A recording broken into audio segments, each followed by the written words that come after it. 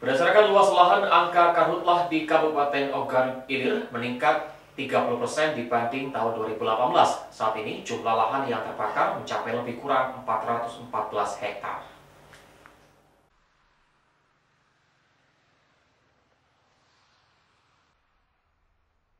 Kebakaran hutan dan lahan yang terjadi di Kabupaten Ogan Ilir terus meningkat dibandingkan tahun lalu.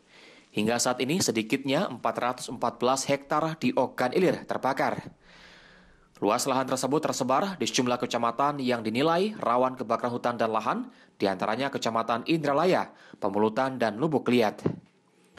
BPBD Ogan Ilir mengatakan angka kebakaran hutan dan lahan pada tahun ini meningkat 30 persen jika dibanding pada tahun 2018 lalu. Pada tahun 2018, kebakaran yang terjadi hanya mencapai 300 hektar. Terbakar eh, dari bulan Januari sampai dengan sekarang ini berkisar kurang lebih 414 hektar.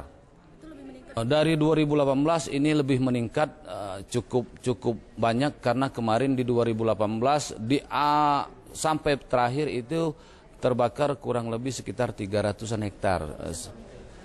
Hampir meningkat 30 persen.